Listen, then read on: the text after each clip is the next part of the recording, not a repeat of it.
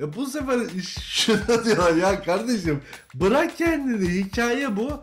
Ciddi mi? Gandalf Harry Potter'da değil mi? Yok Harry Potter'da değil. Ha buradan anlayın işte o neredeydi o?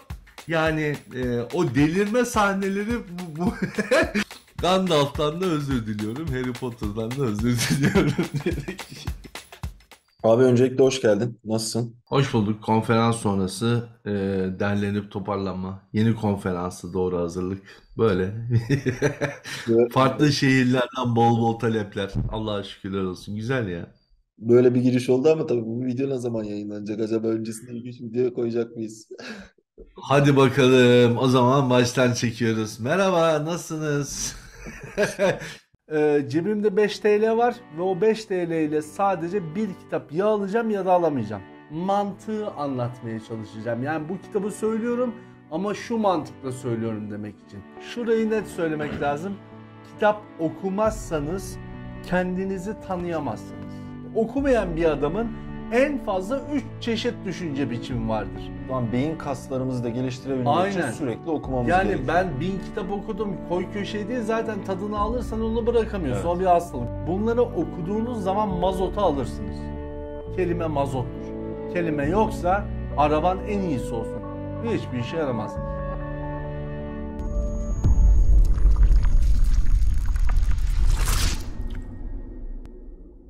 Şimdi abi ilk videomuz şöyle.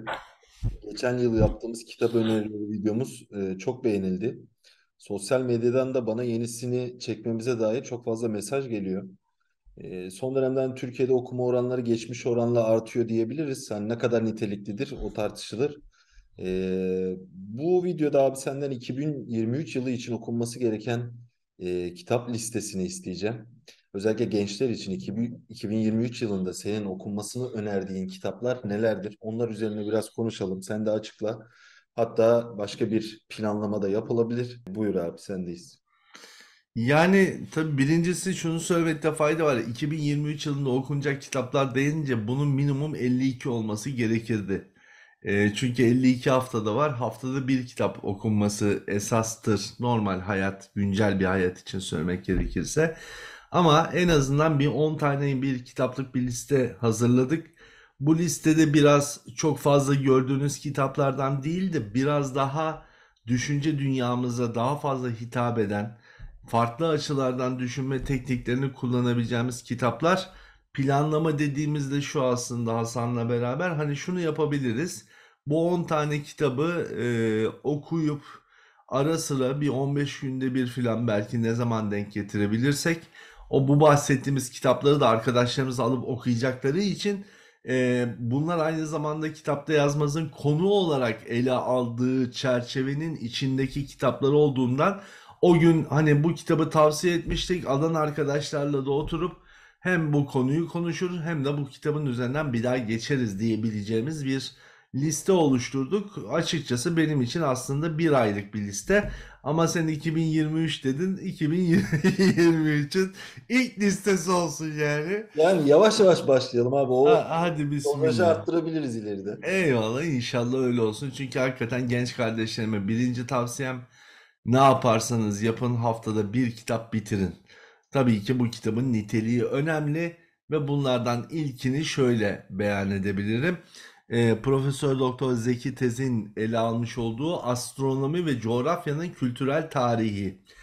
Bu kitap özellikle günümüz çağında oldukça gündeme gelen astronominin geçmiş çağlardan bugüne kadar uzanan coğrafya ile olan tarihsel ilişkisini anlatıyor. Dolayısıyla burcunuz, yükselen burcunuz filan hikayesinden biraz çıkıp önümüzdeki günlerde daha fazla konuşacağımız astronomi alanındaki gelişmelerin coğrafya yani dünya tarihiyle olan yakın paralelliğini görmek açısından önemli. Çünkü enteresan bir haber dün okumuştum. Çin'in e, Çin'in şu anda şeyde yaptığı, ayda yapmış olduğu çalışmalar sonrasında şu anda özellikle uzay kimsenin malı değildir şeklinde Amerika'dan bir e, açıklama geldi. Demek ki yakın çağlarda biz uzaydaki coğrafya, uzaydaki sınırlar, uzaydaki hukuk üzerine de bolca zaman harcayacağız ki Hukukçu kardeşlerime buradan şunu söyleyebilirim. Biraz farklı düşünmek istiyorsanız örneğin uzay hukuku açısından şu aralar çok fazla yapılmış bir çalışma yok. Böyle bir çalışma yapmanız sizi diğer bütün hukukçu arkadaşlarınızın önüne geçirebilir. Bu kitabı beraberce e, bu mesela bu konuyu değerlendirirken Astronomi ve Coğrafyanın Kültürel Tarihi kitabından da faydalanarak oradaki artılar ve eksileri konuşarak da bir araya gelebiliriz. Listemiz biraz böylece farklı açılardan görebilme yeteneğimizi geliştirmek adına. Ee, Uzayı çok konuşacağız çünkü yakın dönemde. Dediğin gibi abi bugün e, haberlere düştü. E, Amerika'dan yapılan açıklamaya göre sözcü Çin yakında ayın kendisine ait olduğunu ilan edecek, açıklayacak. Aynen, bir aynen. Böyle bir açıklama demek bu, bu şimdi hadi bakalım nereden, hangi hukuktan konuşacağız bunu? Ay kime aittir, neresi kime aittir? Acayip bir hikayesi var olacak bu işin. O zaman bunun bir hukuku, Birleşmiş Milletler'de bunun ciddi bir tartışma dönemine doğru adım adım gittiğimiz anlamına geliyor. Çünkü şu an uzay tabiri caizse Texas. Uzayda bir hukuk yok şu anda. Anlaşılan o ki bir hukuka ihtiyaç var. O günleri konuşmadan evvel önce dünya tarihinde astronomi ile coğrafya arasındaki ilişkiyi okuma adına tatlı bir kitap olduğunu beyan edebilirim. Ee, ikinci kitabımız e, yabancı bir yazar Anna Blanchardt'tan e, ele alınıyor. Dünyaya bilimi öğreten İslam alimleri. Şimdi bizim kendi dünyamızda pek çok sefer İslam alimlerinin yani İslam dünyasındaki mütefekkirlerin ya da İbn Sina gibi, Batuta gibi önemli isimlerin dünyaya, e, dünya bilimine katkılarını kendi ülkemizde az da olsa yazanlar oldu. Ama bunu yabancı bir gözden okuyor olmak, bizim coğrafyamızın inancına sahip insanların yabancılar gözüyle hangi etkileri bıraktığını görmek bence daha mühim bir şeydir.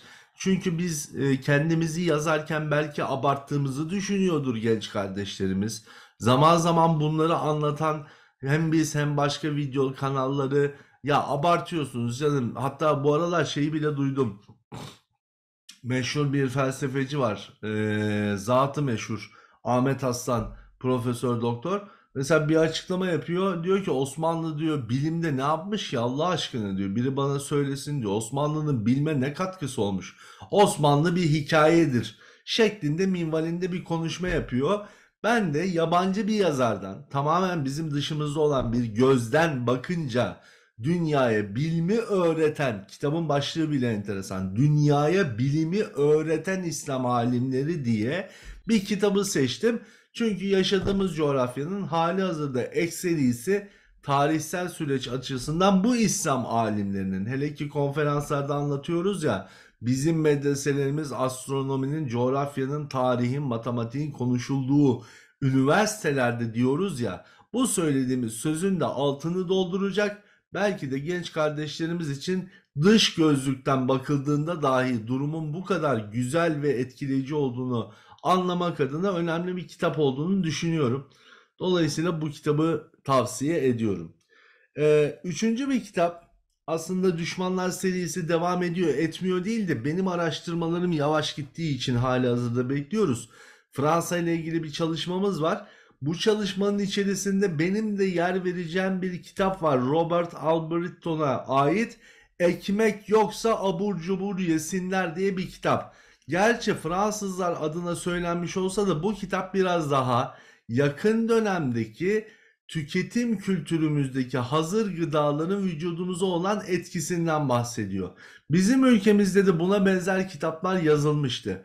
Ama global ölçekli gıdaların hangi duruma gelip bizi ne hale soktuğuna dair önemli bir kitap olduğunu düşünüyorum. Yakın zamanda çıktı bu kitap ve böylelikle sadece işte bizim Canan Karatay Hoca vesaire yazılmış olan bu kitap ve anlayışın dışında yine global dünyanın hazır gıdaya nasıl baktığı ve hazır gıdanın geleceğine ait önemli argümanları içinde besleyen bir kitap. Hazır gıdalar üzerine kaç tane video çekersek çekelim yetmeyecek. Bir gün o videoyu çekerken de bu kitabı da işin içinde değerlendirmenin faydalı olduğunu düşündüğüm bir kitap olarak tavsiye ediyorum. Ee, bir başka şeyi de şu. e, Wade Graham'a ait olan bir kitap çıktı. Yeni sayılır. Rüya Şehirler. Dünyayı şekillendiren 7 tasarım fikri. Bunu özellikle kendi yaşadığı coğrafyada mimarlık ve inşaat mühendisliği yapan ama bunu yaparken genellikle metrekare ve kazanç unsuru üzerinden düşünen kardeşlerimizin biraz daha global ölçekli olaylara bakabilme, bir diğer taraftan şehirlerin kurulumunun insan yapısındaki ve insan düşüncesindeki etkileşimlerini görebilmeleri adına farklı bir çerçeveye sahip olmaları gerektiğini düşünüyorum. Hatta şöyle bir şey de ifade edebilirim. Ben her seferinde söylediğim bir hakikat vardır. Hangi mesleği yapıyorsanız yapın, bunların temelinde bilmeniz gereken bazı değerler var. Yani sinemada çeken bir yönetmen de olabilirsin, bir boyacı da olabilirsin. Fark etmez. Senin biraz geçmiş mimariden, geçmiş şehirlerden, o insanların yaşam kültürlerinden ve oluşmuş bu rüya şehirlerin dünyayı şekillendirirken uygulanmış tasarım fikirlerinden haberdar olman çok çerçeveli düşünme olanağını size sağlamaktadır. Bu kitap özellikle farklı düşünmeye meyletmek isteyen kardeşlerimizin sadece mimarların değil, farklı düşünceden dünyaya bakma gerekliliğini bize anlatır. Çünkü her şehrin, özellikle kadim şehirlerin, yani Şam'da olur bu, İstanbul'da olur da, Bursa'da olur ama Roma'da böyledir. Roma'dan da bir bakmak gerekir. Londra'dan da bakmak gerekir. Çok yeni olmamakla beraber New York'tan da bakmak gerekir. Bu şehirlerin içinde yaşayan insanlar bu şehirlerin hallerinden halleniyorlar, etkileniyorlar ve bu etkileşim süreçleri onların duygu dünyalarını dolayısıyla düşünce ve söylemlerini de etkiliyor. Bu kitabı okuduğumuzda bu söylemi söyleyen bir adamın yaşadığı şehirden hangi etkiyi aldığını görmek, bizim de buna göre hangi şehirleri nasıl kurgulamamız gerektiğine dair de önemli işaretleri yakalayabileceğimizi düşündüğümüz bir kitaptır. Bu kitaba çok yakın bir başka kitap var aslında. Çünkü bu rüya şehirlerini okurken bizler Avrupa'nın en çok etkilenmiş olduğu Rönesans kavramını çok fazla duymakla beraber işin temellerinden çok fazla haberdar değiliz. Hoş burada derin detaylı bir sanat tarihi okumak da yorucu ve sıkıcı olabilir.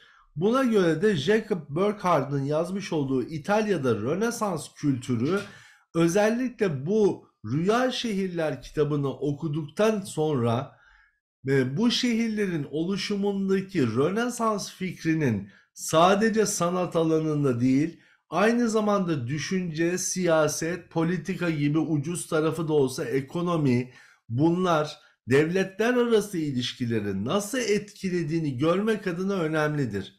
Bizim e, okul hayatımızda da Rönesans oldukça kısa anlatılır. Hep kısa anlatılan tarzdaki noktalardan biridir. Halbuki Avrupa'nın düşünce dünyasının temellerini oluşturan bir yerdir ve bu yer hakkında az bilgiye sahip olmak Avrupa'nın geleceği ve dünyanın yarını hakkında düşünce oluşturmada e, önemli bir etken olduğunu düşünürüm. O yüzden bence okunası kitaplardan biri olarak benim masamda oluyor olacak. Ben de sizlerle beraber değerlendirmeye çalışacağım. Bir diğer şey bu aralar çok konuşuyoruz. Ee, kişiselleşme, bencilleşme, bütün gençlerin ya da hatta toplumun neredeyse artık tamamının ben merkezci bir düşünme formuna gelmiş olması. Bizim bizim konferansımızlarımızda da genel olarak o ben formundan çıkarak nasıl düşünebiliriz ve nasıl yaşayabiliriz? Dün böyleydik, şimdi böyle olduk. Böyle olunca neler yaşadık? Bak bunlar oldu. Değişimizin arkasında Türk yazarların çoğu bunu söylediler, yazdılar, çizdiler. Ama ben yine burasına biraz kıymet veriyorum. Dışarıdan bir gözlükle Jean Twerg'ün yazmış olduğu kitap var. Ben Nesli. Ben Nesli diye bir kitap. Bu da bize yabancı insanların da aynı şeyden muzdarip olduğunu gösterecek.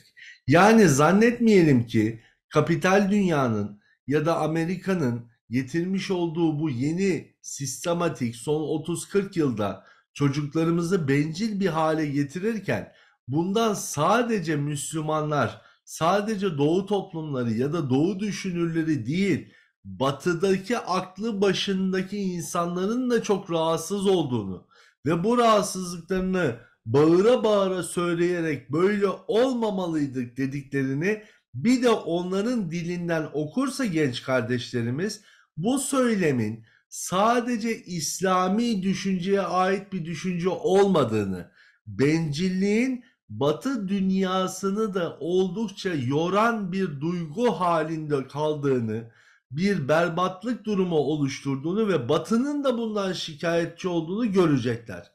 Elbette ki ben neslini okurken o şikayetlere nasıl çözümler getirmiş olduklarını da beraber göreceğiz. Acaba çözümleri bu sefer yine batıdan mı bekleyeceğiz? Yoksa doğunun o kadim düşüncesi mi o bencilliği ortadan kaldıracak ana unsur olarak karşımıza çıkacak?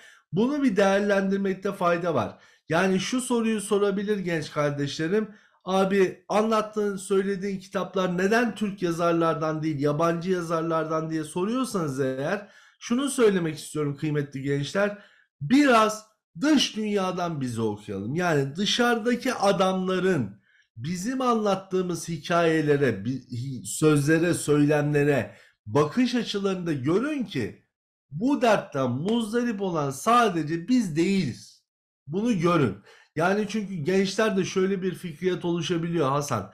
Ya siz şimdi Müslümansınız, Türksünüz. Bu yaşadığınız coğrafyada Türk, Kürt, Arap'la bir birlik düşünceniz var. Böyle bir topluluk hikayeniz var ama Batı hiç de böyle değil diyen bir anlayış var ya. İşte şu kitaplar hayır kıymetli genç kardeşim Batı dünyası da bizim muzdarip olduğumuz şeylerden muzdarip. GDO'dan muzdarip. Şehirlerin o ruhunu kaybetmesinden muzdarip. Bencillikten muzdarip. Astronominin yeni bir şey olmayıp kadim bilgilerle bugüne kadar geldiğini ve yeniden o kadim bilgilerden faydalanmamız gerektiğini söyleyerek güncel popüler bilimin akışkanlığından çok muzdarip olduğunu okumanızı ve görmenizi istiyoruz ki bu ızdırabı ortadan kaldırmak için sadece biz değil onların da bir mücadele vermeye gayret ettiklerini görebilirsiniz diye de bir parantez açmış olduk. Efendim hemen arkasından yine bir yabancı yazar Scott Reynolds'ın Nelson'dan geliyor. Tahıl Okyanusları. Evet hep beraber bolca konuşuyoruz. Tarımdaki problemler, buğdayıdaki sıkıntılar, gittikçe GDO'lu e, yiyeceklerden duyduğumuz her türlü illet bela da bu tahıl okyanusları dediği aslında şu. Ülkemizin haricinde dünyanın dört bir tarafında tahıl üretim noktaları ki Rusya-Ukrayna savaşından gerçekten bundan dünya muzdarip olup Türkiye bu noktada verdiği destekle önemli bir açılım yaptı. Bu kitap bize şunu gösteriyor. Problem sadece ülkemizle alakalı değil. Problem sadece kendi ülkemizde yapılmış ve yapılmakta olan yanlış tarım politikalarıyla da alakalı değil. Benim hep söylediğim bir hikaye var ya, şu Tarım Bakanlığı'nın millileştirilmesi. Aynı şeyden Batı'nın da muzdarip olduğunu, onların da Batı'nın e, hegemonyal şirketlerinin ezilmişliği altında onların da tahıl problemleriyle nasıl cebelleştiklerini okumak anlamında yine Batı dünyasının önemli e, okunası kitaplarından biri olarak tavsiye edeceğim. E, iki kitabım daha kaldı. Bunlardan bir tanesi Joel, e, Joel Migdal'a ait Güçlü Toplumlar Zayıf Devletler. Bak bunu biz daha önce anlatmıştık. Neyi? Kardeşim evet bazı devletler var G7'nin içinde değil. G20'nin içinde de değil. G40'ın, G50'nin, G70'in içinde de değil. Ama bu zayıf devletlerin varlığı güçlü toplumlar karşısında tarih boyunca böyle kalacakları anlamına gelmiyor. Bir değişim süreci bir anda başlar ve bu değişim sürecine orta ölçekli ülkelerde desteklerse Kuzey Afrika'da da dahil olmak üzere Türkiye'nin önü açıktır dediğimizde bunu yine hep bazı genç kardeşlerimiz şey diyorlar ya abi vermeyin şu gazı. Vermeyin şu gazı demeyin. Çünkü yine bir batılı yazar diyor ki kardeşim güçlü toplumlar olduğunu iddia ediyorsunuz ama bunun karşısındaki zayıf devletlerin de dünü bugünü yarınına baktığınızda bu durumun hep böyle gider mi gitmez mi oturup buna bir bakmak lazım diyor. Dolayısıyla yine bir batılı yazardan bizim söylemlerimize ne kadar katılıyor, ne kadar katılmıyor ve iki toplum devlet anlayışı arasındaki ilişkiyi nasıl ele alıyorlar? Yine kitapta yazmaz konusu olarak incelemeye tabi tutacağımız bir kitaptır. Şimdiden sipariş edip okurlarsa bu kitapları konuşacağız. Sondaki kitapsa biraz ilginç. Ben her zaman şöyle bir huyum vardır. Ee, genellikle 10, 20, 30 şeklinde ben siparişlerimi veririm. Aylık kitap siparişleri 20-30'ar adet civarında oluyor. Ortalaması bu. Ama hepsinin içinde böyle bir hani bütün bir kafayı bir çevirelim de böyle bambaşka bir noktadan bakalım şimdi ya da biraz da okurken eğlenmek ya da okurken kafayı başka bir şekilde çalıştırmak isterim. Bazen komik bir kitap seçerim. Roman seçmem Allah korusun. Çok nadirdir bir roman seçimim. Yıl, ömrüm boyunca bir ya da iki. Çalı Kuşu mecburen okuduk zaten. O Allah'ın emriydi. Abi Sinekli Bakkal. soracağım zaten yani bas, bu verdiğin kitaplarda hiçbirisi şey değil, kurgu değil, hepsi kurgu dışı. Yok. Kurgu olarak çünkü şöyle bir şey var Hasan yani benden çıkmaz. Onu sen tavsiye edeceksin. Bu ama kötü manada değil senin tavsiye etmen. Evet, Ben beceremiyorum. Şunu beceremiyorum. Şimdi adamın hayal dünyasına giriyorum. Her seferinde kafa şeye gidiyor. Ya bu, bu adam böyle yapmasaydı da böyle yapsaydı. O zaman da kitabın zevki kaçıyor. Anladın mı? Yani böyle bir sal kendini Harry Potter veya bir başka şeyi okurken çok güzel kitaplardı bu arada Harry Potter serisi muhteşemdi. Bizimkiler topyekun bütün seriyi okudular. Ben şimdi elime alıyorum işte Gandalf oradan oraya gidiyor şunu söylüyor. Ya süper ya böyle söylemeseydi kafa böyle çalışıyor ya. E bu sefer şuna diyor ya kardeşim bırak kendini hikaye bu. E bırakamıyorsun vücut öyle alışmamış kafa öyle yetişmemiş. Okuyamıyorum ben bu romanı. Okuyamayınca nasıl tavsiye edeyim? Tavsiye etsem ben okuyamayacağım. Ben okuyamayınca neyi Yok etme konuşacağız? zaten abi çünkü Gandalf Yüzüklerin Efendisi'nde sen onu Harry Potter'a koydun az önce. Ciddi mi? Gandalf Harry Potter'da değil mi? Yok Harry Potter'da değil Ha, buradan anlayın işte. O neredeydi o? O Yüzüklerin Efendisi. Ha bak a- anlayacağını anla. Geçen gün zoraki çocukların zoruyla Avatar'a gittim. Avatar 2. Şimdi Avatar 2'de beklentim şu. Ulan birinci bölümün bitmesi lazım. Meğerse o araymış. Film 2 saatten fazla sürdü. Ya tamam bir hikaye var da arkadaş bir adamın bir hayvana saçını bağlayıp uçma gayretinin iki buçuk saat anlatılma çalışması. Ya ve şuraya geliyorsun. E arkadaş aynı Hollywood hikayesi. Birisi köyden kovuluyor. Kovulduğu köyde yeni bir savaş başlatıyor ve geri dönüyor. Ulan Cehennem silahında da aynı hikaye yok muydu? Yani kovulursun gerisi. Hikaye ha görsellik harikaydı. Animasyon muhteşemdi. Yani e, o delirme sahneleri bu, bu yani orada bir kadının çığlık atma, adamın diye birbirine bağırma çalışması var ya o gerçekten hani kendimden şeyler gördüm onu onu söyleyebilirim. Ama şeydi ya yani çıktık çocuklar işte baba nasıldı nasıldı? Evet süperdi. Saat kaç ya Allah rızası için bana bu şileyi bir daha yapmayın ne olur yani evet Gandalf'la Harry Potter'ı birleştiren adamdan kitap tavsiyeleriyle devam ediyoruz. Evet. İşte o yüzden kurgu kitap isteme acı benden patlarız yani yapamam beceremem herkesin Vallahi ben becereceği alacağım. beceremeyeceği Tamam. şeyler var. Ama bunu sen söylersen süper olur abi. Çünkü sen sinemayla hikayeyle daha fazla uğraştığın için bence oradan 2-3 tanesini sen bize önermelisin diye söylüyorum. Efendim sondaki kitap e, Nobel Akademik'ten çıktı. Kolektif bir kitap Deve.